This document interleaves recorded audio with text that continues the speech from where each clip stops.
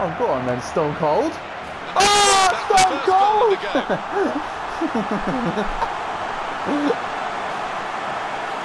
Oh, fuck, I thought it was bold. And that is a contender for goal of the season without question. To find the left corner from that distance.